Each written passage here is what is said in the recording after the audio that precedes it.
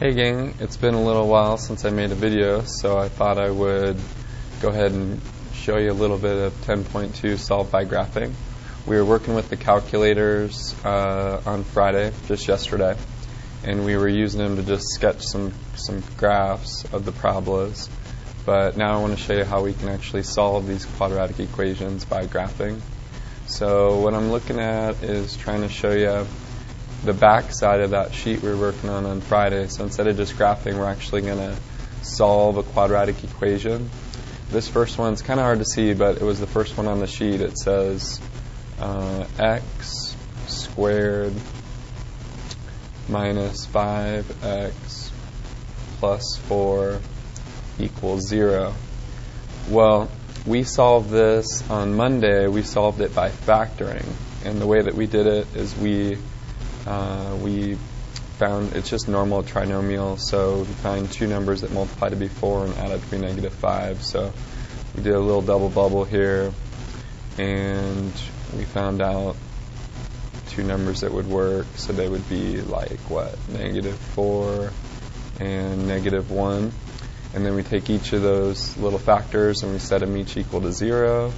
So we get x minus 1 equals 0. So x equals 1, x minus 4 equals 0, so x equals 4. So we have two answers, 1 and 4.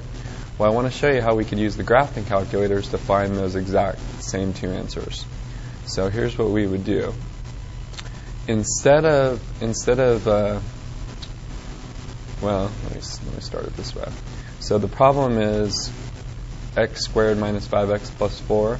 So what I'm going to do in the calculator, I'm going to graph, instead of a 0, I'm going to put y equals x squared minus 5x plus 4. So notice instead of the, of the 0 in that spot, this was a 0, I'm putting a y. So that means when I go to graph this, this parabola, I'm going to be looking for whenever the y equals 0, because that's actually uh, what I'm trying to solve. I'm trying to figure out what the x's should be so that it's going to create a y value of 0, because I've replaced my 0 with a y. So I get the calculator out. So let me find my calculator. Okay. So here's my calculator. I'm going to graph that same function. So I'm going to go x squared minus 5x plus 4. I'm going to do zoom 6 just so I get a normal viewing window. Okay, so that's my viewing window. And really all I need to do is I just need to look for wherever the graph touches the x-axis. So I'm just looking right here and I'm looking right here. And I can kind of tell, I can zoom in, or I can kind of tell that they cross at 1 and 4, which are exactly the answers that I know are the answers. There's actually a way to do it by having the calculator calculate this. So let me show you. We can do second calc, and we can actually have it find the zeros. That's why they're called zeros, because that's where the graph crosses the x-axis. So when you, you do second, and then you press trace, and it calculate, you, go to that, calculate. So left bound, press enter. It just means it's, it's on the left side of wherever the zero is. See the blinking dot? You press enter, and then you have to move your blinking dot so that it's to the right side of wherever the zero is. There's the zero right there. It's to the right side of it. So I press enter, guess. Boom, tells me one of the zeros is 1. That was one of my answers. So then I do second trace again, which is actually calculate.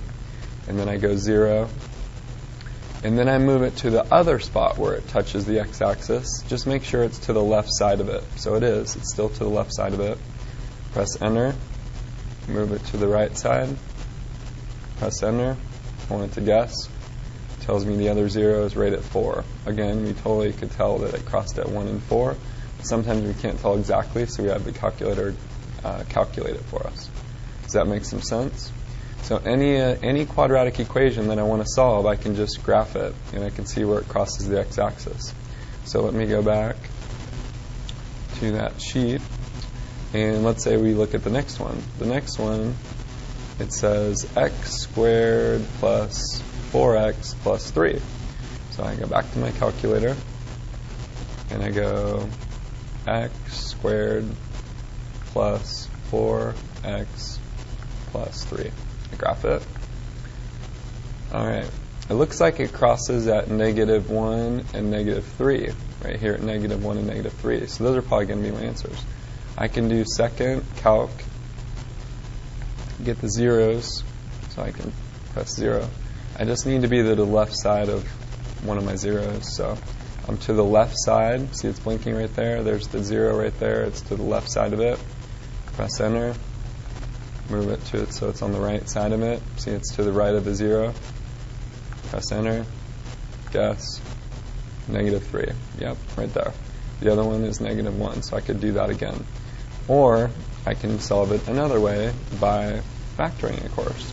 So the problem I just graphed was y equals x squared plus 4x plus 3. When I graphed it, it crossed at negative 1 and negative 3.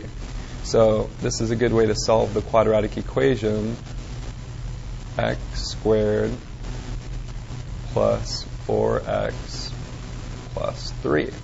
Now on Monday when we did this, and last chapter really, we solved this quadratic equation by factoring.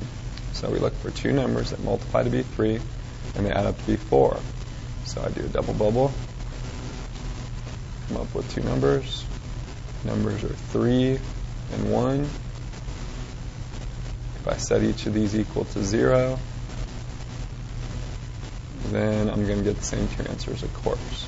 So I'm going to get x equals negative 1, x equals negative 3.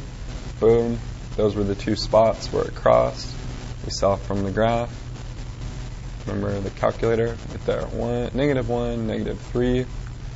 Same answers, negative 1, negative 3. So this is a great way to solve quadratic equations. As long as you have a graphing calculator, you can graph it and just see what the zeros are, wherever it crosses the x-axis. Now, does that make sense?